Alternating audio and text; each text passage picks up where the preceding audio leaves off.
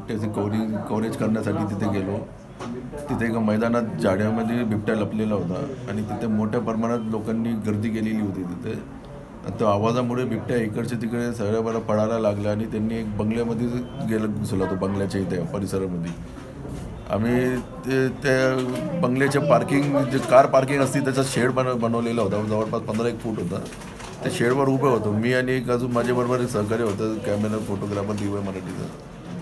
तर तो अचानक बिबट्या आला आणि त्यांनी वरती जंप मारली माझ्या अंगावर. मी ते बिबट्याला हातात कॅमेरा होता तर मी कॅमेरा आणि बिबट्याला असं धरून डायरेक्ट बिबट्याला घेऊन खाली पडलो मी तिथं. खाली पडल्यावर ते भिंत होती भिंतीचे ते आपले काही सहकारी उभे होते त्यांना मी हाक मारलं का रे मला वरती घ्या. मग त्यांनी आत मला हे केलं उचललं आणि मला भिंतीच्या इथून वरती उचललं मला.